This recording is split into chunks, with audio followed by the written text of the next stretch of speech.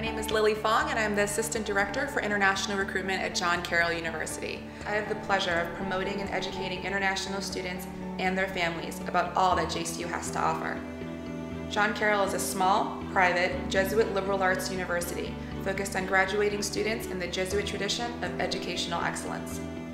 What makes John Carroll unique is how we truly focus on and offer individualized attention and support for each and every student on campus.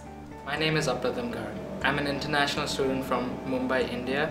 I'm a junior at John Carroll and my major is finance. My name is Claire and I'm a sophomore student from Senegal and I study international business. My name is Tracy. I'm an international student from Beijing, China and uh, I'm a political science and business double major. My name is Anna. I'm from Germany. I'm an exchange student here at John Carroll and I'm studying mathematics and physical education.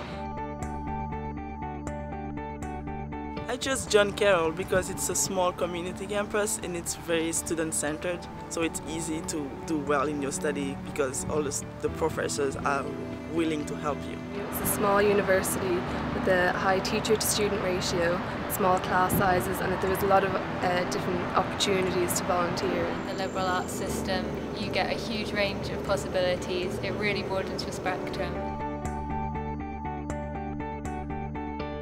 I think a Jesuit education will help me because it gives you a different perspective on how to approach various problems in the world. Really gave me a flavor of all the all the majors at John Carroll because of its vast core requirement and really helped me understand what what uh, kind of subject fit me the most.